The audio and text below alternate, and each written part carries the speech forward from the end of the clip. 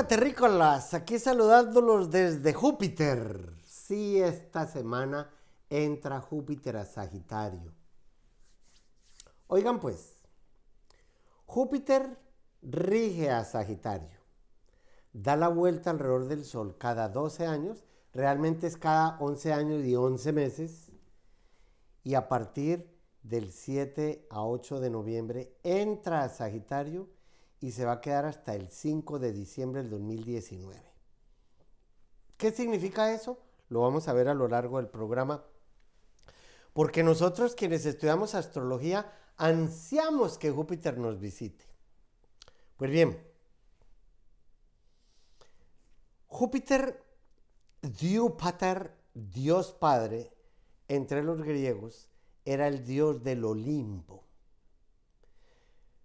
tuvo una misión en su vida, que fue destronar a su papá, Cronos, Saturno, la muerte.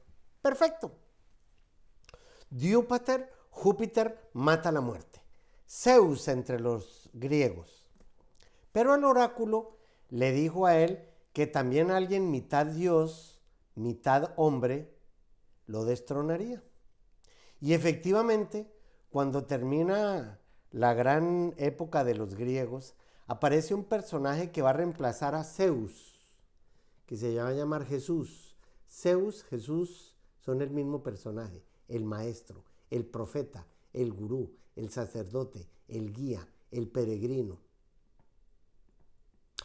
Y el Señor Jesús también destrona a Saturno, o sea, a la muerte.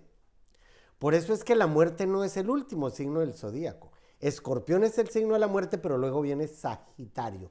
La flecha que es el, el rayo de luz que lanza Zeus o el ángel caído que redimido vuelve a los orígenes. El mito de Júpiter es muy importante porque cuando Júpiter nos visita, dice que la vida es una escalera por la cual tenemos que llegar hasta el Olimpo. Pero miren la información que les traigo porque voy a hablarles mucho de Júpiter, que va a beneficiar también a los Leo, a los Aries, a los Acuario y a los Libra. Y a todas aquellas personas que vayan a cumplir o estén alrededor de los 12 años, los 24, 36, 48, 60, 72, 84, 96 y dejémoslo ahí. Júpiter en astrología es el gran benefactor, el gran protector. Si la misión de Júpiter es que la mente personal de Mercurio avance hasta la mente superior que representa Júpiter, para después podernos conectar con la mente universal que representa Urano. Aquí podemos llegar a tener acceso a la conciencia, a la sabiduría, que es aquello que usted y yo comprendamos. Porque lo único que nos podemos llevar de este planeta es exactamente eso lo que hayamos comprendido. Y especialmente lo que hayamos comprendido acerca de una sola cosa. De quiénes somos. Si yo sé quién soy, tengo una responsabilidad enorme de ser lo que tengo que ser a pesar de lo que fui y a pesar de los demás que no quieren que yo sea. Júpiter el benefactor venció a Cronos junto con la ayuda de su hermano Plutón, el Hades, que cuida las profundidades de la Tierra, y Poseidón Neptuno, que cuida las profundidades del mar. Y él se quedó con el penthouse. Desde allí, Júpiter dice yo veo. Por eso la frase de Sagitario yo veo, y más aún, porque si es un, si es un, eh, una saeta, un arquero tirando su flecha para dar en el blanco, que por cierto, la flecha está dirigida hacia Escorpión, matando la muerte. O como diría el poeta en la Biblia, muerte, ¿dónde anda tu aguijón? Eso era todo. Pues bien, con Júpiter tenemos que lograr las aspiraciones que nos propongamos. Y si está en Sagitario, hay que cuidarse de los excesos que pueda traer Júpiter. Porque si son expansiones en forma de espiral, uno puede llegar a excesos y decir, no, corramos que por la autopista no hay nadie, tengo a Júpiter encima, no me va a alcanzar ningún policía ni me van a poner multa. Pero se atravesó una vaca. Entonces no era que yo fuera a la cárcel, es que fui a dar a la al cementerio o, al hospital mínimo porque se atravesó la vaca y me choqué contra ella. O sea, cuídense de todos modos de los excesos. Pero como es una época de abrir puertas, de expansiones, de oportunidades, de crecimiento, de prosperidad, de abrir las alas, de cortar con el pasado, eso ocurre a todos los Sagitarios a partir de esta semana. Pero yo no sé en qué casa, no sé en qué carta, en qué parte de su carta astral tengan a Júpiter. Alguien saldrá de la cárcel porque es Sagitario. O si mucho le darán una hora más de patio porque tiene 24 años. O le dijeron que no era sida sino gripa porque estaba en el hospital. Con Júpiter siempre es así. Un gran benefactor, el bienhechor. Yo podría contarles de muchas veces, desde cuando tuve 12 años, que Júpiter estuvo encima mío y me salvó literalmente de la muerte cuando tenía 12 años. Lo primero que yo hice al estudiar astrología era corroborar qué era lo que me había salvado astralmente en aquel momento. Y tenía Júpiter sobre Júpiter. No en Capricornio, sino en Acuario, que es donde tengo a Júpiter de nacimiento. Por eso las personas que hayan nacido con Júpiter en Sagitario van a tener de edad 12 años o 24 o 36 y así sucesivamente. Pues en nuestra carta astral Júpiter nos concede los favores y regalos que pidamos, pero hay que saber pedir, ¿no? Porque dice pedir y se nos dará. Y la Iglesia Católica lo tomó como el ángel de la guarda, como el protector o el benefactor, porque efectivamente las estadísticas en las cartas astrales que yo hago después de 45 años de estarlas haciendo, siempre sé que uno se salva de algo cuando tiene a Júpiter encima, por signo o por edad. Y también cuando está en la casa 1. O sea que también va a ser muy bueno para todos aquellos que sean ascendentes Sagitario, que no tengo ni idea pues de quiénes serán porque hay que ver dónde nacieron y a qué hora para poderlo ser. Alguien que sea Géminis, nacido a las 6 de la tarde, debe ser ascendente Sagitario. Y alguien que sea Pisces, nacido a la medianoche, también. O alguien que sea Virgo, nacido al mediodía, también. Bueno, es una idea que estoy dando porque no tengo la carta de ustedes aquí encima. Pero como Júpiter tiende a ponernos, es como la garrocha para poder brincar el, el muro. Por eso se dibuja como con un dedito levantado. Y en la época de los romanos ese dedito decía quién vivía y quién se moría. Y el que se moría era con Saturno encima. Pero como Júpiter venció a Saturno, todas las dificultades que ustedes tengan ahora son más fáciles de mm, sobrellevar. Si Júpiter rige la mente superior y la sabiduría, pues yo les aconsejo que adquieran alguna filosofía de vida. Qué bueno entrar a estudiar el Tao o el Tantra Yoga o algo de budismo o de alguna religión que les interese, pero con un poco más de libertad mental para poder eh, juzgar si eso que les dijeron es verdadero o no. ¿Bien? Porque Júpiter es la gran sabiduría. Pues bien, Visto así, en nuestra carta astral, en la casa donde tengamos a Júpiter, se va a iluminar ahora mucho más. Si es en la casa 12, pues lo salva de ciertos karmas. Si es en la casa 1, ustedes dicen comienzo a crecer yo, comienzo a ascender yo. Si es en el segundo sector, pues lo material se torna un poco más fácil. Y así sucesivamente. Lo que pasa es que no puedo decir que eso sea para todo el mundo, porque también hay que mirar qué aspectos hace Júpiter mientras cruza por una carta. Bien, pero tiendo a pensar por mi propia experiencia, por la gran cantidad de cartas que he hecho durante estas cuatro décadas largas, que siempre es un beneficio. Hoy precisamente vamos a ver algunas cartas de ejemplos de personas que cuando tuvieron a Júpiter encima, les fue como en los eh, circos romanos cuando salen por la puerta grande o como los toreros. Pero eso lo vemos en otra sección. Por ahora los dejo allí. Ya vuelvo.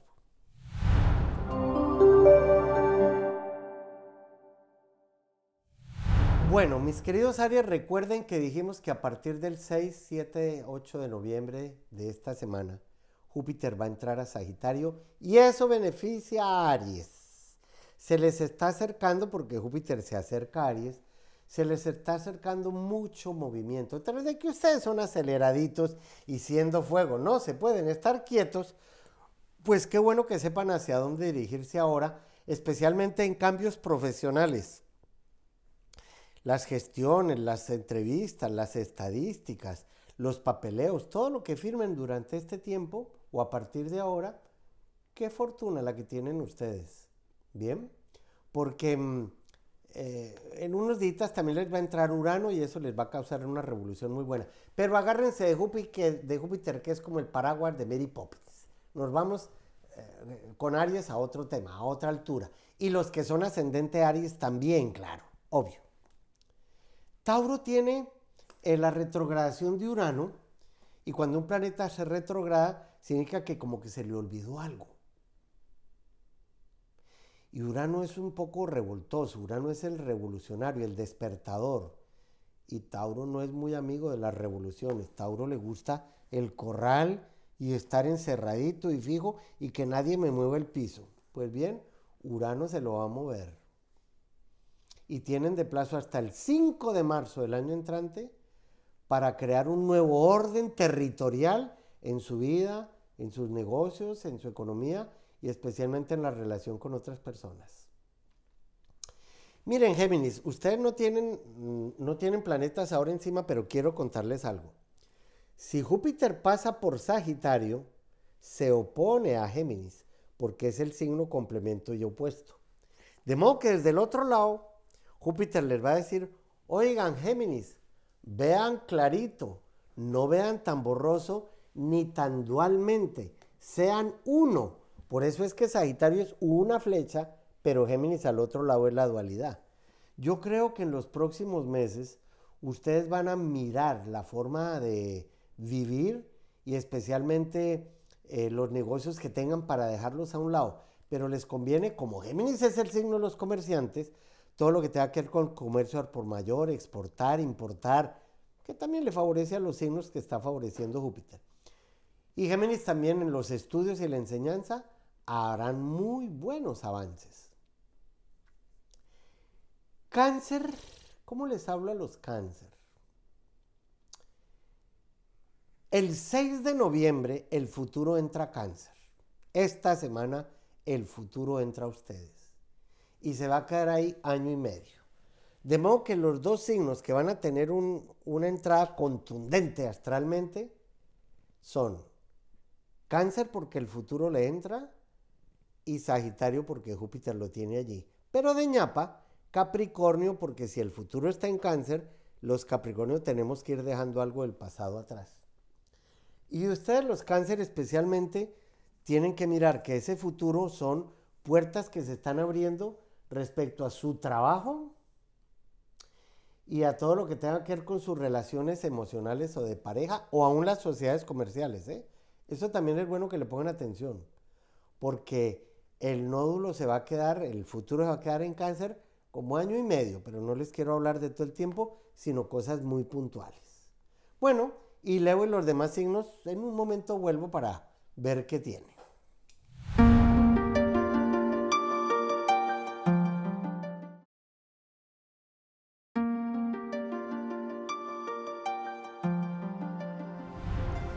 Tendría cientos de ejemplos para mostrarles de qué sucede cuando Júpiter nos visita. Yo me he salvado de morir, me he salvado de accidentes, me han condecorado muchas veces cuando tenía a Júpiter encima. Hoy quiero mostrarles solo tres cartas para no ser el programa muy personal. La primera de ellas es un expresidente colombiano, muy amigo mío, llamado Álvaro Uribe. Fíjense bien, el doctor Uribe es cáncer ascendente Géminis. Pero cuando nace, él tiene al Sol en la casa 1, que es la casa del yo. El, el 26 de mayo del 2002 fueron las elecciones presidenciales en Colombia. Y de todos los candidatos, él era el único que tenía a Júpiter encima de él. Es por eso que los astrólogos no tenemos que adivinar los astrólogos nos basamos en estadísticas de las cartas que hayamos hecho para saber si lo que significa un factor astrológico en verdad funciona en las personas, como en este caso que estamos viendo. Pues bien, Júpiter le favorecía en aquel momento la casa 10, que es la casa de los presidentes, y el sector sexto del zodíaco, que es el del trabajo. O sea que todo el triángulo de lo material estaba muy bien puesto en la carta del doctor Uribe. Y por eso ese triángulo se representa siempre como el ojo de Dios que ponen los masones encima del dólar. Pues bien, el doctor Uribe tenía el ojo de Dios de yo veo de Júpiter en su propio signo cáncer en ese año. Veamos otra carta. Vamos a ver la de Barack Obama. El señor Barack Obama es Leo, ascendente Acuario. Había nacido con Júpiter en Acuario, o sea, cuando él nació, Júpiter estaba en el signo Acuario. Pues bien, el 20 de enero del 2009, el día que él ha ganado la posesión en noviembre, ese día se posesiona también con Júpiter encima de él. Miren ustedes que quiero que caigan en la cuenta de lo siguiente. En la carta pasada que vimos, Júpiter estaba encima del signo del presidente Uribe. Pero aquí Júpiter no está encima del presidente Barack Obama por signo, sino por edad. Cuando Júpiter pasa sobre Júpiter, uno va a cumplir de edad 12 años o una edad equivalente a 12 y 12 por 3, 36, y 12 por 4, 48, y así sucesivamente. Pues bien, el señor Barack Obama no solo, iba a, tener a Júpiter sobre Júpiter, sino sobre su ascendente, que dijimos que también es una época excelente. Tener a Júpiter sobre el signo de uno es por el mes en que nació. Tener a Júpiter sobre el Júpiter natal es por el año en que nació. Pero tener a Júpiter en la casa 1 es por la hora en que nació. El señor Obama iba a tener a Júpiter por el año en que nació y por la hora en que nació como Dios del Olimpo, diciéndole, usted va a ser el presidente de los Estados Unidos. Y en Acuario es magnífico, porque acuérdense que estamos empezando la era de Acuario, que es la era de las comunidades. Veamos otra carta. Donald Trump de por sí nació con el sol en la casa de los presidentes y gobernantes que es la casa 10. Él es Géminis y por eso tiene un manejo de las chisminis, de las comunicaciones, un poco raro. Y es ascendente Leo. Y Leo pues le da un ego grandísimo. Bien, pero resulta que él nació con Júpiter en Libra. Y qué interesante, cuando gana la presidencia el 9 de noviembre del 2016, pues Júpiter está encima del Júpiter natal. Miren qué interesante, porque Júpiter también lo lleva a ser el dios del Olimpo. Y por eso le, hace el gran trígono que vimos ahora con el doctor Uribe, que es el ojo de Dios que igualmente está puesto aquí. Ahora, el señor Donald Trump tiene algo más, y es que él nació con Júpiter en la casa 2. Y la casa 2 es la de la plática. O sea que él va a ser el dios del Olimpo en cuanto a economía se refiere. ¿Cómo? Pues espero que no se exceda porque hay un gran enemigo, un pecado enorme que tenían los griegos como el peor de los pecados que se llamaba la ibris. Y la ibris se traduce por la desmesura. Desmesura es el que se sale de su medida y como si hubiera una guadaña, el que se sube un poquito, le cortan la cabeza. El señor Donald Trump es bastante desmesurado. A veces se sale de la medida. Pues bien, con Júpiter puede cometer excesos. Pero como estamos hablando de cómo Júpiter nos beneficia cuando pasa por nuestro signo o el ascendente, pues, pues indudablemente lo benefició para ser presidente, pero como tiene a Júpiter en la casa 2 cuando entró a la presidencia, también lo va a favorecer económicamente. Y para eso no se necesita ser muy astrólogo, ¿cierto? Pues bien, Júpiter ya no está allá. Júpiter lo tiene, lo, tiene él ahora entrando a la casa 4, que es la de Sagitario, donde también tiene la luna negra.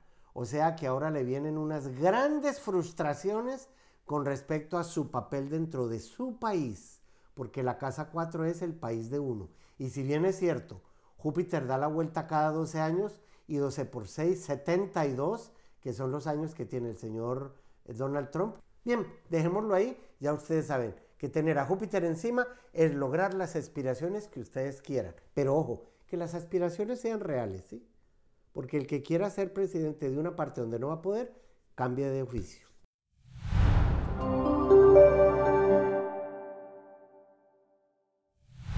Oigan, leitos. Ah. En los próximos tres días se despide una etapa muy importante de su vida que la conocemos con el nombre del nódulo norte, que estuvo en Leo en el último año y medio y ahora entra cáncer. Tienen tres días todavía como para brillar de la manera que quieren brillar en donde les corresponde especialmente gracias a su propia honorabilidad, porque la gran misión de Leo es cuidar de la dignidad humana, es decir, no rebajarse a ser parte de la chusma. Ustedes son reyesitos y reinas. Entonces, demuéstrenlo. Porque el primer jinete del Apocalipsis, recuerden que llevaba una corona y un cetro y era el rey. Esta semana es muy importante para definir una nueva etapa en la vida de ustedes. No tengo ni idea en qué área, pero lo van a sentir. Virgo tiene la visita de la luna. Y como Virgo tiende a racionalizar las emociones, oigan, pues ¿qué tal hacen una limpieza emocional? O también una limpieza, una higiene, nutrición, productos orgánicos y naturales, un reciclaje, una limpieza en el alma para aprovechar esa luna es muy buena. Y sobre todo que es la luna balsámica. La luna balsámica es cuando la luna ya va a pasar de no verse a verse nuevamente, a la luna nueva. Pero la luna balsámica trae un poco de soledad, de dejar karmas atrás. Y ustedes, como son tan racionales, pues dejen de sufrir por lo menos por algo que ya es imposible que vuelva, que suceda, que tengan. Se fue, déjenlo ir. La luna se está yendo. Libra tiene la visita de Venus, pero retrógrado. Y cuando esté en Libra, Venus se va a poner directo, pero más, más adelante. Como Venus rige a Libra y está retrógrado, es una época de reflexión, de retraimiento, de mm, pensar nuevamente sobre qué es lo que los está haciendo desequilibrar tanto, porque yo no sé, sobre todo en las mujeres, no sé cuál es esa manía que tienen de que para sentirse bien o en equilibrio tienen que tener una pareja al lado. No, yo creo que primero uno tiene que estar en armonía con uno mismo y si logra esa armonía o cuando la logre, si hay alguien bien y si no, el que llega se armoniza con uno porque ustedes ya están en la armonía. Pues bien, ese mensaje se los dejo con ese Venus en Libra. Júpiter se está despidiendo de Escorpión, así como el futuro se está despidiendo de Leo. El 8 de noviembre de este año, Júpiter se va de su signo y volverá en 11 años para quedarse un año más ahí.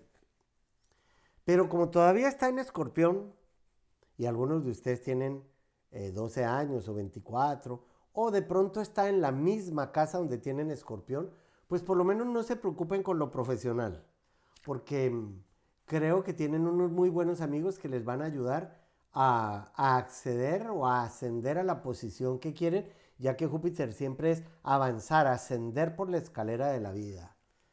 Pero cuídense de los excesos, ¿eh? Y cuídense también de, mm, no clavar mucho el aguijón ahora que van a quedar ustedes, van a quedar sin la protección de Júpiter.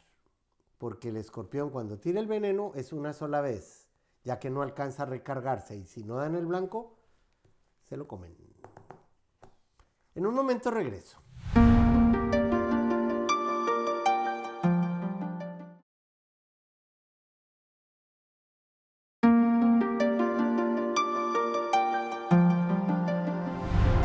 Bueno, quiero contestar algunas cartas, empezando por la de Norma, que tiene un problema. Ella dice que nació con Quirón en la casa 4, que es la del hogar. Y alguien le dijo, no sé quién, que se iba a separar de su hijo y que iba a tener un dolor con su hijo. Ella está ilegal en Estados Unidos y su marido es de Estados Unidos y su hijo también. Entonces ella tiene miedo de que la deporten.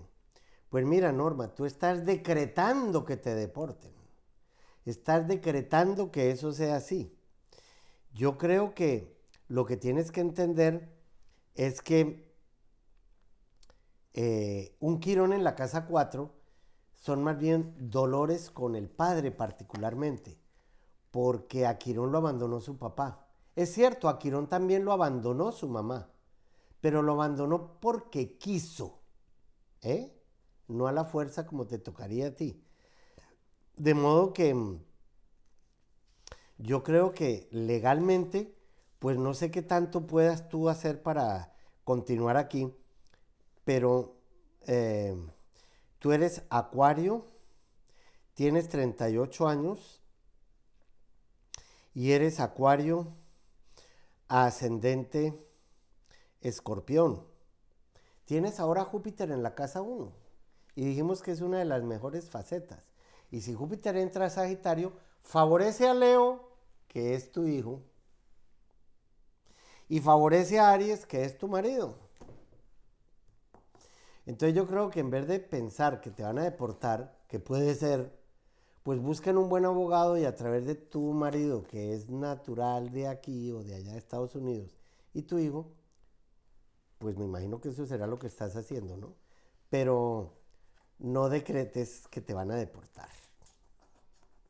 De todos modos, dijimos que también Júpiter desde Sagitario favorece a Acuario. Patricia dice que nació un 24 de noviembre. Ah, eres Sagitario. O sea que vamos a tener la visita de Sagitario. Y eres Sagitario ascendente Sagitario. Doblemente porque va a pasar por la casa 1 también. O sea que el beneficio te va todavía adentro del 2020. Oye, y me dices que eres mamá de tres bellos e inteligentes hombrecitos, pero que a la vez eres viuda. La casa del segundo matrimonio, después de uno separarse o quedar viuda, es la casa 11.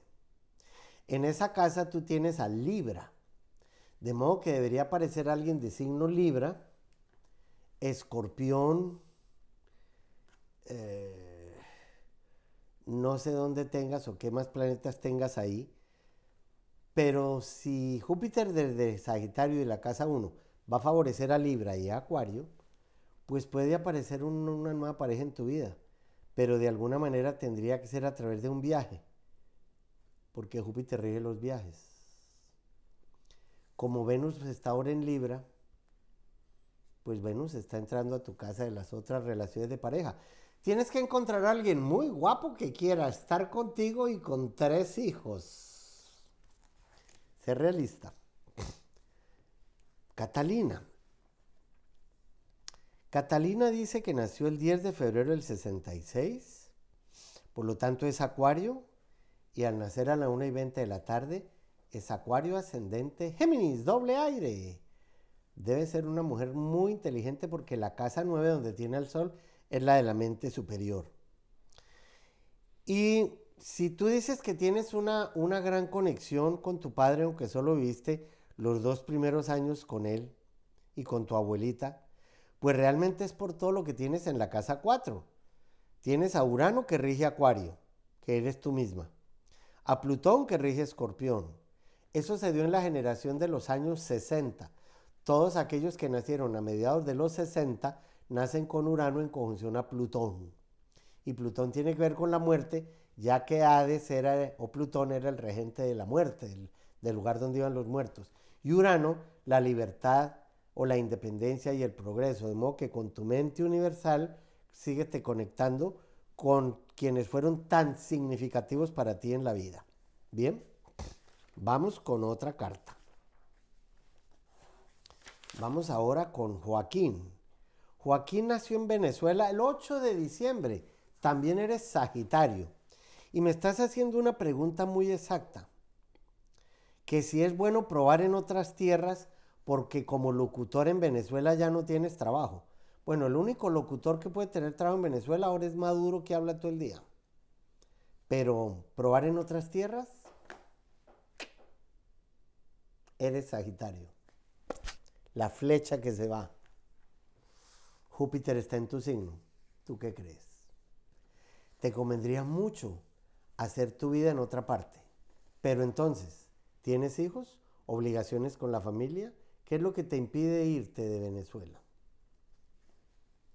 Pues bueno, hazlo porque si Júpiter va a estar en Sagitario hasta el 5 de diciembre del 2019, tienes de plazo hasta ese día para saber en qué parte del mundo va a dar a clavar, vas a dar a clavar la flecha que tú mismo eres.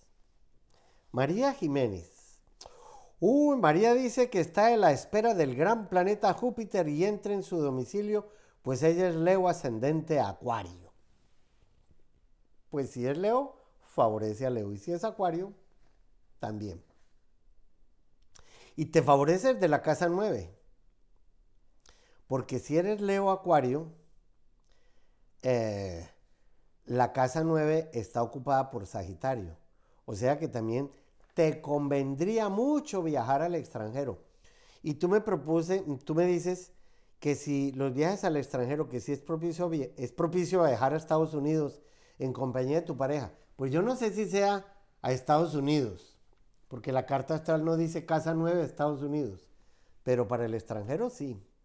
Ahí lo difícil es mover al Tauro, porque Tauro es un toro encerrado en el corral y en cambio tú eres eh, fuego y aire, que es mucho más fácil de mover. Por cierto, si tú eres Leo ascendente Acuario, para ti serán fundamentales Escorpio y Tauro, porque forman exactamente, tienes que formar exactamente esa cruz. Ah, y él es Tauro ascendente Escorpión, entonces para él es importante Leo y Acuario. Están hechos el uno para el otro. Mira, tienes la mejor carta para estudiar o para trabajar a partir del 8 de noviembre de este año. De modo que lo que tienes eh, que ir viendo es como la casa novena es el peregrinar, eh, los guías espirituales, y aquí me dices que te encanta el camino espiritual, pues te contesto con gusto y compasión que vete para donde quieras, pero también para donde el destino te lleve, porque no siempre es para donde uno quiera. Bien. Bueno, dejamos ahí por ahora y seguiremos con el programa.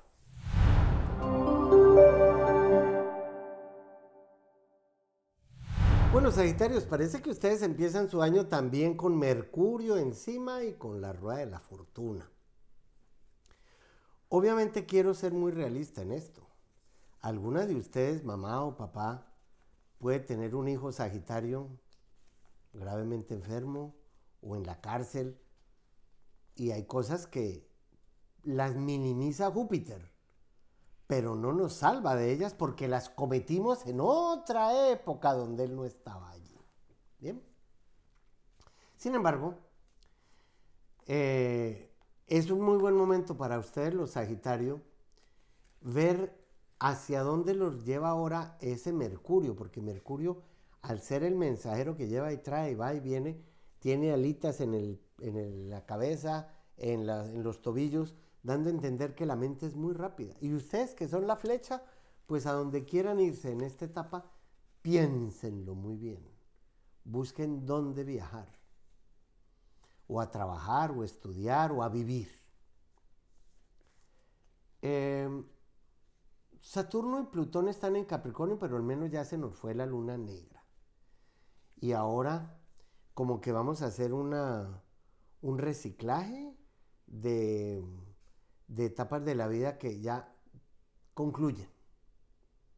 También como preparándonos como si fuera un, salir de lo viejo, salir de aquello que en nosotros ya no tampoco debe seguir existiendo. Eso es una renovación total muy importante. Y como Capricornio lo que más le interesa es trepar con sus pezuñas hasta la meta que nos propongamos. Eso está muy bueno. Quién sabe qué metas profesionales tengan ustedes. Pero un Capricornio como, como en esta época eh, va a desarrollar un, un poder de adaptación muy grande porque tiene todo el triángulo de tierra, Urano en Tauro y la Luna en Virgo favoreciendo a Capricornio, lo cual dice que la cabra brinca el corral sin irse contra nadie para ascender a un nuevo ciclo. Acuario también esta semana como que deja una etapa de su pasado atrás. El nódulo sur se va, así como se va de Leo, el pasado se va de Acuario. Y como Marte está todavía allí, al lado, ojo, de la luna negra. Bueno, qué bueno que pongan un cañoncito aquí en su cabeza mentalmente y disparen contra las frustraciones que se han dañado de ustedes. Es época de salir de tristezas, fracasos, abandonos, de crisis, de situaciones que ya quedaron en el pasado y que si no se lograron, no se lograron, no se lograron. Listo. El huracán que es Acuario se llevó lo que tenía que llevarse y ustedes deben continuar. Recuerden que Acuario es el signo de la libertad y la independencia por excelencia. Esa revolución que exige la luna negra con al lado de Marte también tiene que ver con su vida emocional y más que todo pasional.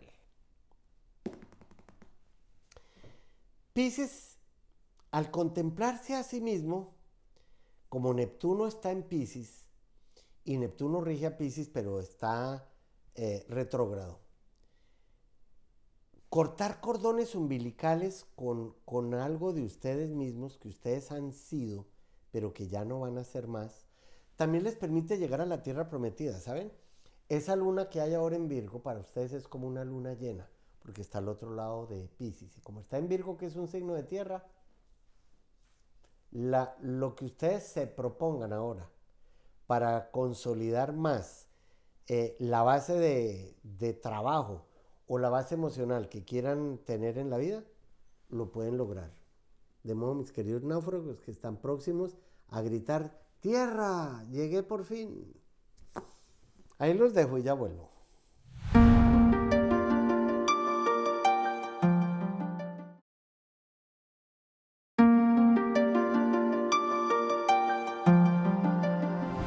Bueno, voy a conectarme ahora por las redes sociales, por Skype, para conversar con una paisana mía que se llama Adrianita, Adriana Carrillo. Hola mujer, buen día. Hola. Oye, mira que encuentro algo curioso en tu carta. Tú eres Piscis ascendente Piscis y yo soy Capricornio ascendente Capricornio, que son los dos polos. El pescado, en este caso tú, la sirena, que te profundizas hasta el fondo y yo la cabrita que trepo hasta las alturas. Oye, ¿a cómo lloras la hora? Porque cuando una Pues- persona es Piscis es tremendamente sensible y doble Total. Y doble Piscis. Bueno, el círculo de adentro era como estaba la carta cuando tú naciste y el de afuera es cómo está hoy. De modo que dime, ¿qué quieres que veamos? ¿Qué te gustaría saber, Adrianita? En este momento quiero saber de mi vida sentimental. Listo. La casa 7 es la vida de pareja. ¿Tú tienes hijos? Tres. La casa de los hijos es la casa 5. Entonces, el primer matrimonio, el que nos da el primer hijo o los primeros hijos, se estudia en la casa 7. Las otras relaciones de pareja se estudian en la casa 11. Tengo que hacerte todas estas preguntas para saber si me refiero a la casa 7 o me voy de una vez para la 11. ¿Ya te separaste del papá de tus hijos? Sí. Perfecto, entonces nos vamos a la casa 11. En la casa 11 tienes los siguientes signos que nos sirven de pareja, Adrianita. Capricornio, Tauro, Libra, Acuario. Y nunca te vayas a relacionar con alguien Virgo. Jamás te conviene un Virgo porque naciste con la luna negra en Virgo. O puede convenirle a uno tanto una persona Virgo en tu carta que el día que te falte se vuelve un infierno esa vida. De modo que Virgo no. Ahora, como tu vida de pareja de aquí hasta cuando desencarnes la va a regir Capricornio y por lo tanto la rige el planeta Saturno, mira que Saturno ya va a entrar a tu casa de las otras relaciones de pareja. Y eso sucede Sí. cada 30 años. O sea, que viene un guapo galán que va a encartarse contigo y tres hijos. Oye, no sé dónde lo vas a encontrar, Yo tampoco. pero es que hay que ser realista, ¿no te parece? ¿Hay alguien por ahí que, que ronde que te interese? Sí, de hecho, en este momento te quería preguntar por una persona que hay en mi vida. ¿Cuándo cumpleaños? gustaría- ¿Cuándo cumpleaños? ¿Cómo, perdón? ¿Cuándo cumpleaños esa persona? Primero de junio de 1979. A ver, fíjate bien, no está en la lista, pero es Géminis y tú tienes a Géminis en la casa 4, que es la casa de hacer vida de hogar. O sea, no está en la lista, pero no está mal puesto. Tienes a Géminis en la casa del hogar. A ver. ¿y qué, tan, qué tanto hace que se conocen? Eh, tenemos hace aproximadamente nueve meses de relación. Bueno, o sea que él ya conoce la familia, que tienes hijos, etcétera. ¿O no? Sabe que, sí, sabe que tengo hijos, pero no conoce a mi familia. Es una relación muy intermitente. Como buen Géminis. Por eso a Géminis se le dibuja con dos palitos, aquí y acá. Y a veces aquí Exacto. y a veces allá. Esa es la relación de la toalla. Tú allá y yo acá.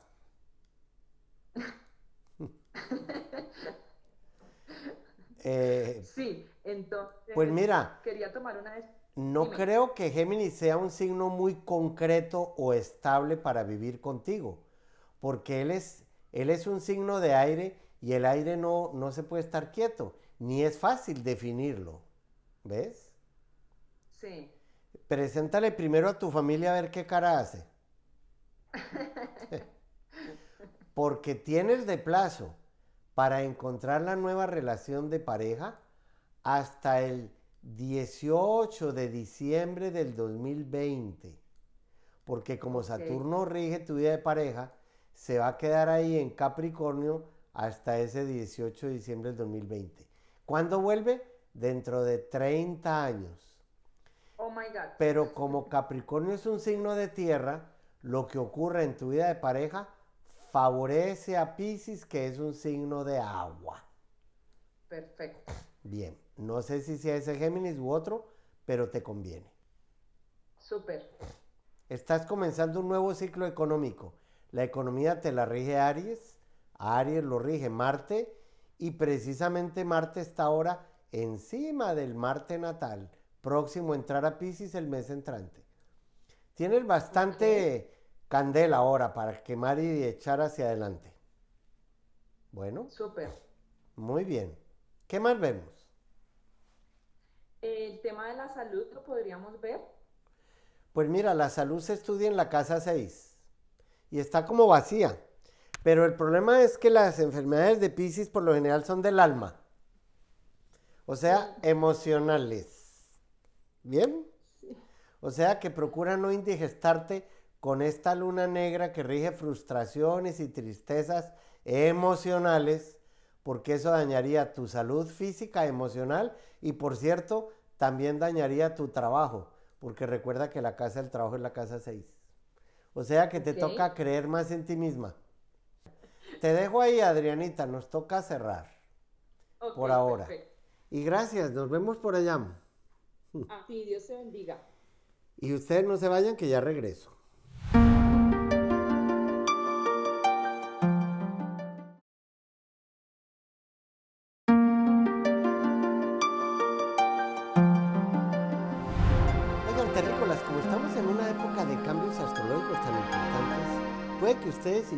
Sagitario, pero donde tengamos a Sagitario, Júpiter entró a iluminar esa casa. Puede que ustedes y yo no seamos ni Leo ni Acuario, pero donde tengamos el nódulo norte de la luna, entró a Cáncer y entró a Capricornio el, el lado sur. O sea que estamos en una época en nuestra carta de una renovación muy grande. Por eso yo sí les aconsejo que mm, cuando vayan a quemar su basura interna o la basura que consideran que son otras personas, estén muy seguros de que sea basura. porque de pronto pueden quemar algo o a alguien que no es tan basura y que van a necesitar después. Por eso esta es una etapa más como de observar de qué vamos a salir en nosotros o afuera, porque si quemamos algo o salimos de algo que vamos a necesitar después, ya ese después no existe, no viene. De modo que siéntense muy solitariamente en su mullido sofá, allá en su interior, y quemen lo que verdaderamente tienen que quemar. Y no sufran más por algo que ni va a llegar y se fue del todo. Bien, lo que vuelve y del todo es este programa en la próxima vez que nos veamos. Gracias.